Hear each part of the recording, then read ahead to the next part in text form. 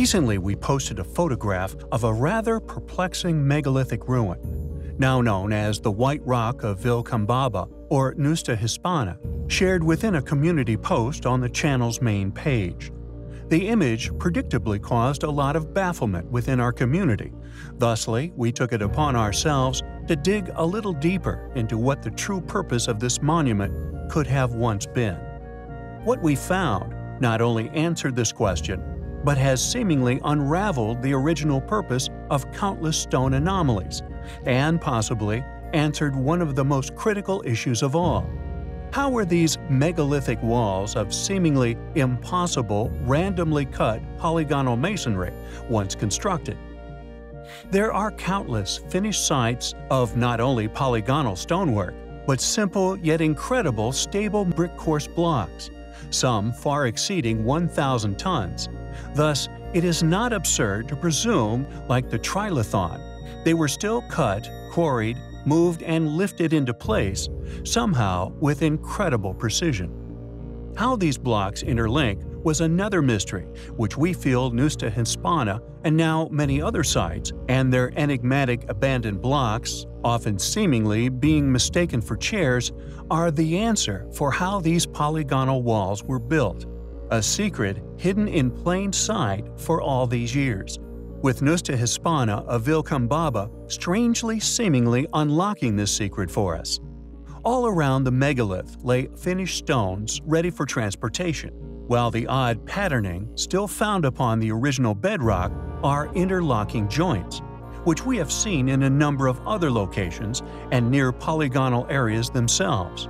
Yet the Ñusta Hispana megaliths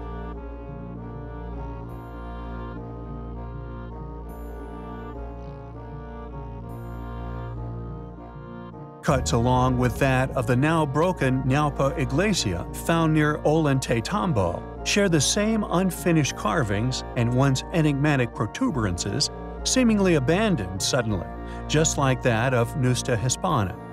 Yet, thankfully, the carving patterns are indicative of so many other ruins we have found on location. It is seemingly unraveling the mystery and answering the question of what these mysterious cuts were for and what resulted from them. These seemingly random shaped blocks were anything but.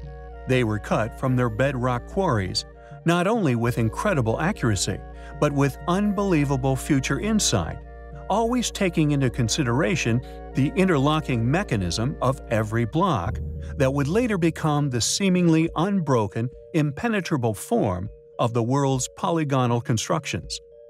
Like that of the stone of the pregnant woman found within Baalbek, claimed as abandoned, firstly as it weighed over 1,000 tons and due to a slight incline, yet mere meters away the trilithon, which lay aloft with blocks placed atop others, each weighing thousands of tons.